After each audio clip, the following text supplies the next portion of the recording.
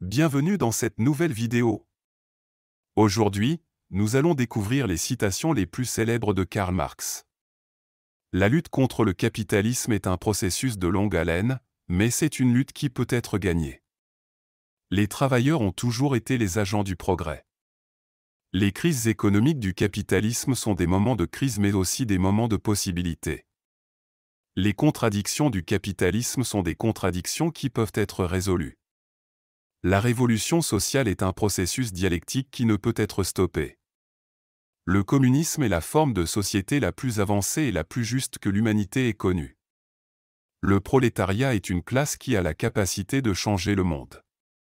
Les travailleurs ont toujours été à la pointe du progrès technique et social. Le socialisme est la voie vers une société plus égalitaire et plus juste. Le capitalisme ne peut pas durer éternellement. La lutte contre l'oppression est une lutte qui peut être gagnée. Le communisme n'est pas une utopie, c'est une réalité possible. La conscience de classe est une force qui peut renverser le capitalisme. Les travailleurs ont le pouvoir de changer le monde en faisant grève, en organisant des manifestations, en créant des syndicats et des partis politiques. La révolution est un processus qui implique une transformation profonde de la société.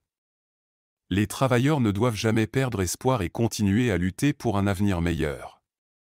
La classe ouvrière est la seule classe qui ait la capacité de renverser le capitalisme et d'instaurer une société socialiste.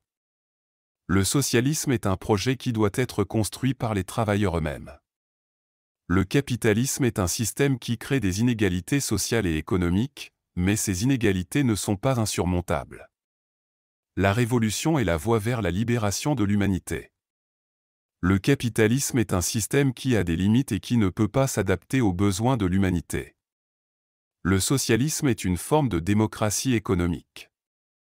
Les travailleurs peuvent changer le monde s'ils sont unis et organisés. Le communisme est la seule alternative viable au capitalisme. La révolution sociale est un processus complexe qui nécessite de la patience et de la persévérance. Les travailleurs sont la force motrice de l'histoire. Le socialisme est la voie vers une société sans exploitation. La révolution sociale est un processus qui peut être imprévisible, mais qui peut aussi ouvrir des possibilités inattendues. Les travailleurs peuvent changer le monde s'ils ont la volonté et la détermination de le faire.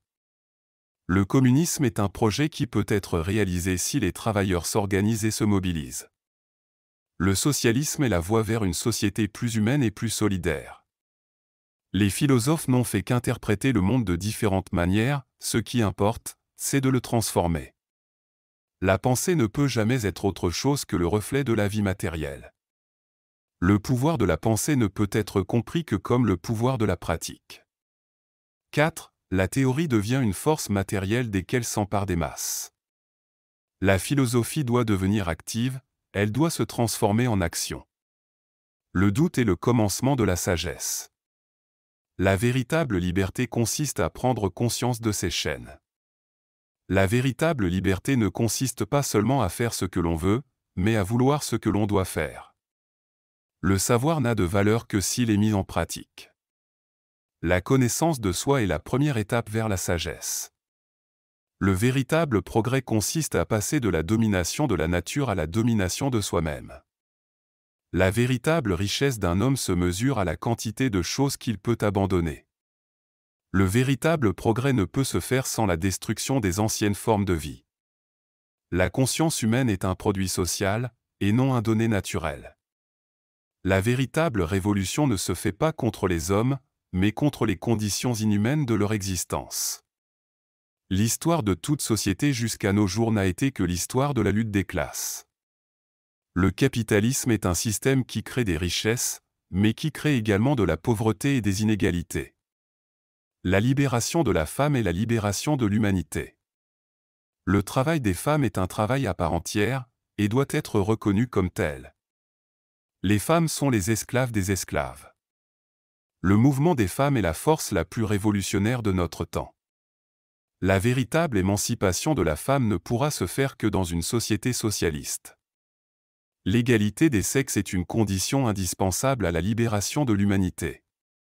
La libération de la femme ne peut être réalisée que par l'action collective des femmes elles-mêmes. Les femmes doivent être des actrices à part entière de la révolution sociale. La participation des femmes est nécessaire à la révolution, comme la participation des hommes.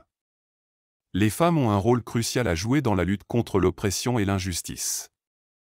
La femme n'est pas un objet de propriété, mais une personne à part entière. Le droit de vote des femmes est le signe le plus visible de l'égalité des sexes. Les femmes doivent être libérées de la double oppression qu'elles subissent en tant que femmes et travailleuses. La lutte pour les droits des femmes doit être une lutte commune de toutes les classes. Les femmes ont toujours été des leaders dans la lutte pour la justice sociale. Le mouvement féministe est un mouvement révolutionnaire. La libération de la femme doit être une priorité pour tous les mouvements progressistes. Les femmes ont le droit de s'organiser et de revendiquer leurs droits. La domination masculine est une forme d'oppression sociale qui doit être combattue. Le travail domestique des femmes doit être reconnu et valorisé. Les femmes doivent être représentées à tous les niveaux de la société. La violence contre les femmes est une violence politique. Les femmes ont le droit de choisir leur destinée, sans être limitées par leur genre. Les femmes doivent avoir le droit à l'éducation et à la formation. Les femmes doivent avoir accès à tous les métiers, sans discrimination de genre. La participation des femmes est essentielle à la démocratie.